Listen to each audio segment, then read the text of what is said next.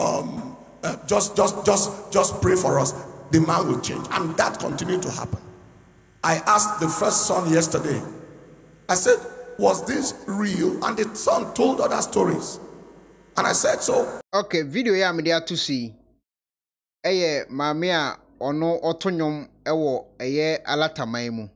Na ma yɛ video wei pɛn ɛna mesan ɛyɛ bio because meyɛ live video no ɔsɔfo bi firi si mu a ɔse ɔno according to ɔno saa ɔsɔfo no ɛrekyerɛ sɛ maame no wansɔfa in domestic ɛyɛ violence biara. Na afei nso yɛsi na wɔwɔ kidney problem. Sɔfoɔ no a wɔkasa a yɛn se no wɔ kidney problem ne adeade video yi nso a mede to so yi nso sɔfoɔ no a onim maame yie n'asɔre ba no wanka saa asɛm no sɛ no wɔ kidney problem. Eti na sɛ nipa no ɔba mi platform yi so bɛka ase sɔfoɔ no ɛsee no na sɛ wɔatwa ntoro. Ɔno nso so ɔyɛ reverend. Ɛno ti na mma saa akɔfa video yi ɛsan ɛde ba asɛm bi. Tie asɛm a sɔfoɔ no kan pato tie asɛm yie sɛ wote sɛ wɔka sɛ sista yi ewu owie na yɛ kidney problem na ekun no a wobɛtumi de comment agu video no ase. One woman bi nso ɛwɔ ɔno nso comment ɔmeki fa saa ewuo wei ho. Ebetie ɛno nso ɛyɛ very sad sɛ wobɛtena aware ase na problems na ɔte hɔ ɛwɔ sɛ ɔwɔ gyaa na akɔ baabi because ntumi nkun ho. Fati ase. hello ebusuafo sɛ wɔpɛ si fitaa asere akyerɛ ɔdɔfoɔ deɛ ɛnna nafa wɔn kɔdɔm unique laser whitening. Unique laser whitening ɛwɔ toothpaste soronko a wode twitwi wo se a ɛma wo se ɛyɛ fitaa. Na ɛyɛ fitaa no nso no na ɛyi nkabɔne bia ɛwɔ wɔ no mu biara ɛne tea stain coffee stain smoking stains bia unique laser whitening product. Ɛbɛyi ne nyinaa afiri so ama wo kamakamakama deɛ wobɛyɛ ne sɛ wotu so na wode bi egu wo brush no so. Na wode atwitwi wo se no so nyinaa kama. Wowie a ɛhohoro w'anum gya no wɔ w'anum saa. Nti frɛ unique laser whitening ɛwɔ 079 99792330 unique laser whitening. Ɔsɛ muni sɛso okay Passing of our beloved sister Osinachi Nwachukwu, who is a kingdom asset and a generational asset to this generation. In the light of so much misinformation, in the light of so much misconstruction of events, I decided to set straight what I know concerning the situation. Over two and a half months to three months ago, she came to see me with her husband with complaints of chest pain, respiratory distress. I prayed for her and prayed and prayed again. And when the symptoms did not abate, I counseled that they go to the hospital to help us to know exactly what we were dealing with. And they asked if I could assist, help them facilitate that process. I called our head of medical team, Dr. Sang, who is consultant pediatrician with the Federal Medical Center, Keffi, to assist handle their situation. And he called the Federal Medical Center, Jabi, called colleagues there where they attended to them.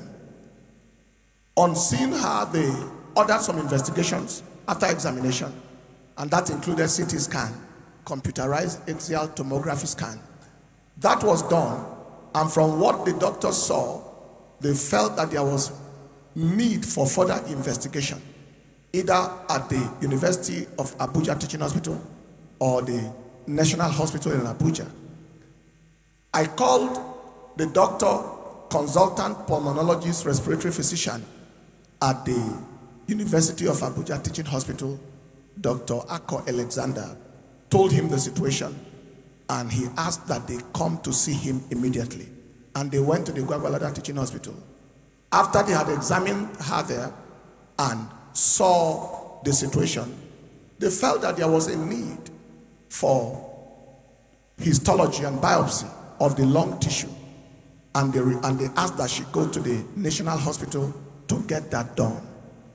I again called the Dr. Jibrin, who is head of pathology and consultant histopathologist of the National Hospital in Abuja, and reported the issue to him and to help us go ahead with the investigations and find out what exactly happened. I am calling names and calling places because the people are available are alive and they're all verifiable. And then they continued the management. Um, the histology was done from what I saw at that time. The picture was much milder than what the CT scan earlier on showed. And so we felt very happy that at least there was relief. She called me daily, and we literally daily, and prayed with her. She reported progress. The point came where she needed no oxygen anymore, uh, according to what she said to me one night, and that they checked her oxygen perfusion, and it was 100%. And we were very, very excited at that progress. That was the point it was before we went over to the crusade in Cameroon. It was at, in Cameroon the second night that I got to know of the unfortunate incidents of her passing. Now, if there was domestic violence that led to or coincided with those symptoms that she came with two and a half months, two and a half months to three months ago, there is no way I would know. And if there had been perennial domestic violence, there was no way I would have known. The things we're hearing after her passing were things that were very, very strange to my hearing. Then I began to ask questions. First, I asked the twin sister, Are you aware that your sister, were you aware that your sister passed through all these things? She said, Yes, she knew some of them, but that the majority of them she was hearing also from those she confided in. I asked her, I said, If you knew, why didn't you let us know? And the twin sister said, She always begged her, Please don't let the church know, don't tell the pastor, please, the man will change, please, um, uh, just, just, just, just pray for us. The man will change. And that continued to happen. I asked the first son yesterday, I said, Was this real? And the son told other stories. And I said, So why didn't you tell me? Because typically they will run to me after service and I'll pray for them, lay hands on them. Why didn't you tell me about what was going on in the home? And the young man said, They couldn't tell me because the father would always ask them after they left me and said, What did you tell the pastor? Did you tell him anything? And so on and so forth. I further other members in the choir who were privy to this, some of the things that were going on. I asked one of them when we paid the visit to the house of the deceased yesterday, what happened? Why were we not aware of all these things? The same story that she would always go on her knees and ask them, please don't, don't. Just pray, don't. But trusting God for Him to change. The last one that taught me so much was a music producer who came to see me in the office two days ago to tell me his own experience, how he witnessed that the man slapped the wife in his music studio. And I said to him, You saw a man slap a woman in your presence and you left the man alone and you are a man yourself.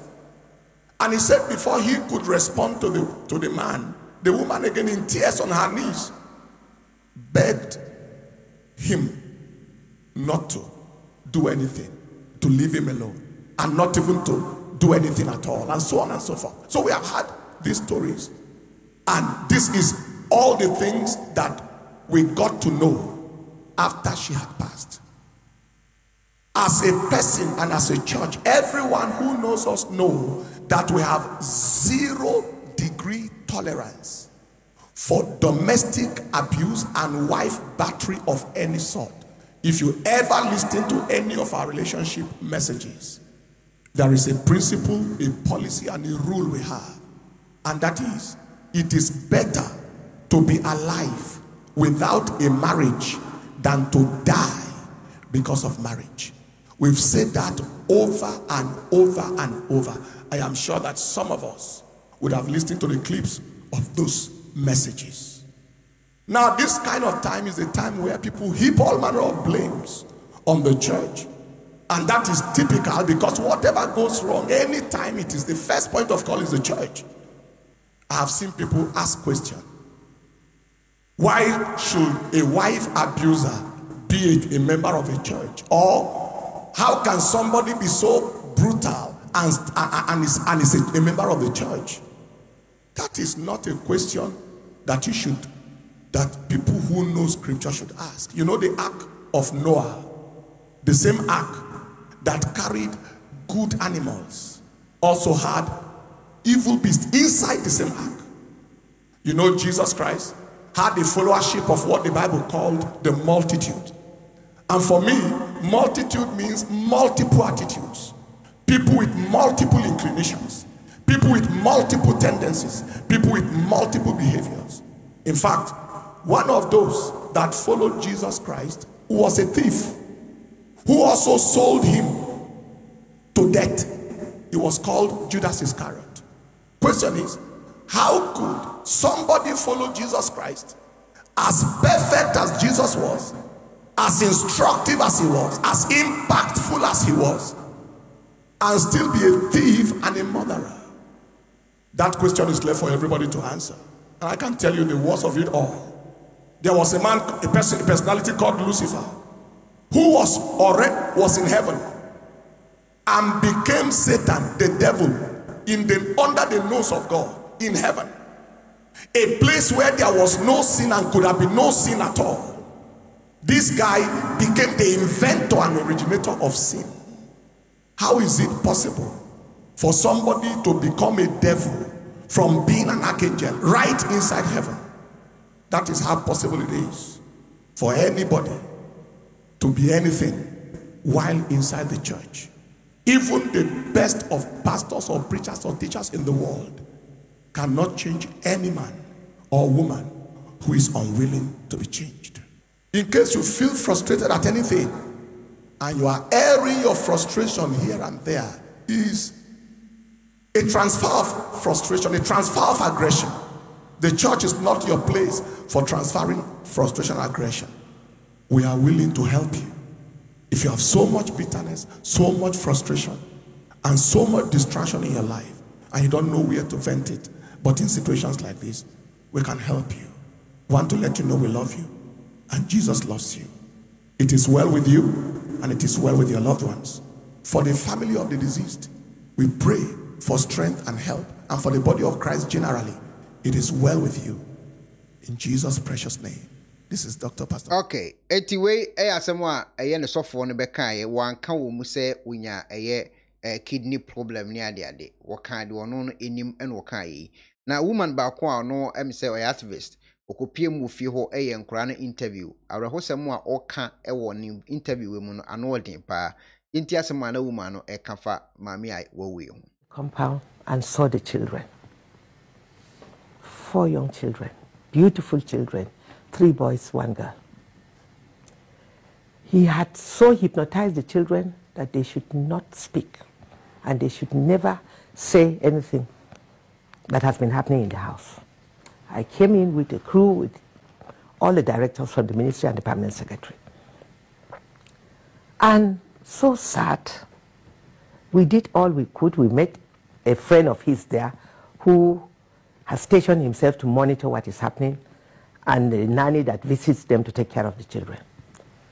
So when I was asking questions, the children, I saw that they were not forthcoming. And uh, I now excuse everyone out. I said I needed to have one-on-one with the children. So I sent all the children in. I asked the nanny to take them in.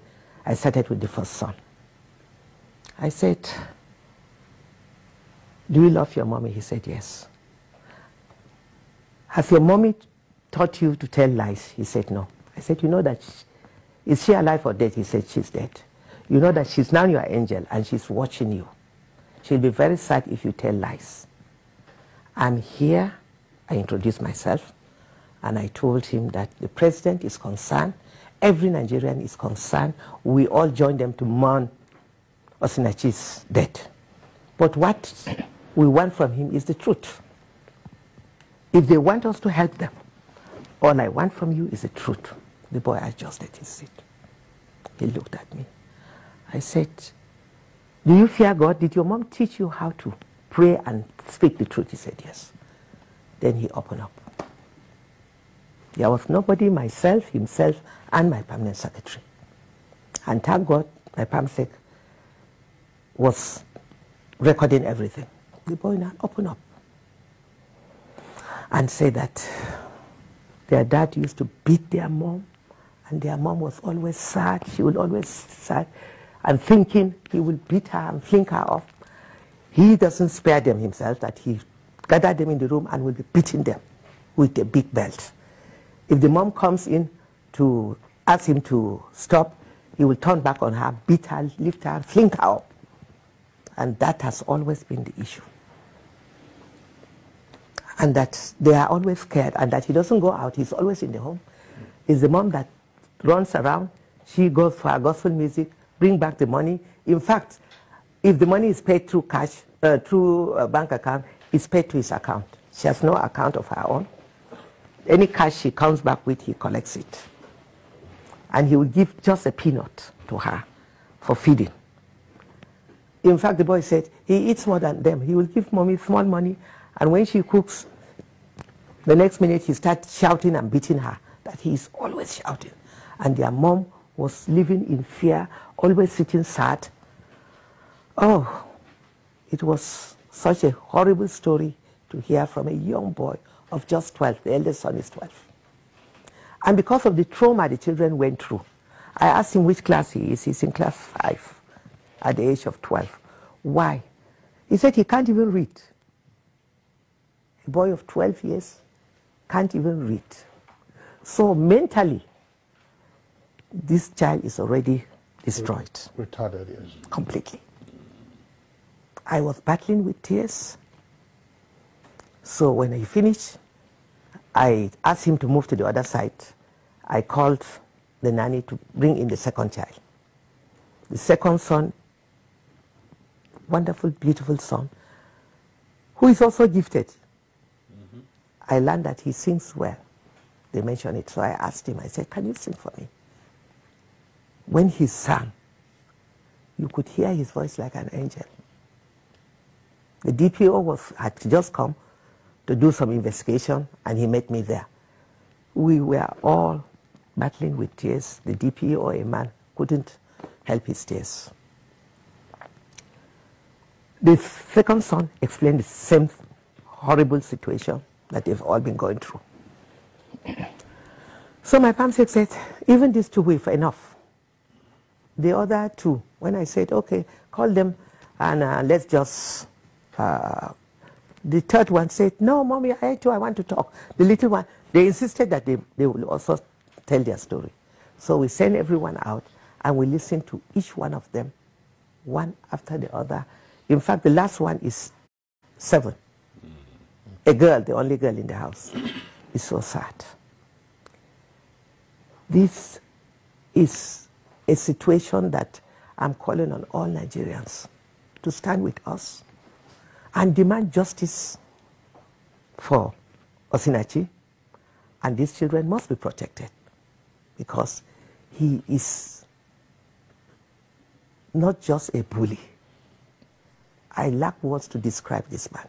Okay, we- and saw the children. wei ne nsɛm a womani nso de to dwa ɛfa osi n'akyi ewu wobɛtumi de comment agu video no na sɛ sɔfo no ɔba me platform so bɛkasa a ɛyɛ sɛ ɔwɔ kidney problem ne ade ade no wabɛtwa ntoro. Asɛm na nte saa. Ade tena so bɛka saa. Ɔ comment gu wei no ase. Mede mɛtu obi afo. Sɛ ɔte awares na hwɛ na sɛ nkɔ yi ma wɔ a ɛnyɛ ho kristo kristo. Sɔre no kɔɔ baabi. Na asɛm mfa no asɛm kɔ because eh, wu a wawu nkwasi awuwu ɛyɛ asɛm wobɛtumi asubscribe to your channel no sɛdeɛ bɛyɛ de video to a nsa bɛka nti wowie a yɛ ahyɛ ne mi adɔma no so so video no bɛtɔ hɔ a na wo nso woatumi ahu yɛ bi na wo nso ahwɛ. Afei nso fa comment nso gu video no ase. Yɛkyɛke ɛyɛ yɛ page no so. Yɛhunu sɛ nnipa a ɔma subscribe to your channel no ɛyɛ 51.8 percent. 48.2 ɛnsubscribe yi. Wobɛtumi asubscribe na nso abɛka ɛyɛ 51.8 no ho. Ana afei nso yɛkyɛke ɛyɛ geographical no location no. Nnipa a ɔma asubscribe na ɔmka yɛ abusua ho. Us na di nkan uk na ɛtɔ so germany na ɛtɔ so ghana ba ansa na italy aba. Baabi a wɔn nso bɛtumi asubscribe na wafei wahyɛ na wɔde comment nso agu video no ase like page no na afei wami adɔma no so video no bɛtɔ wɔ announce wɔnya bi ahwɛ meda ase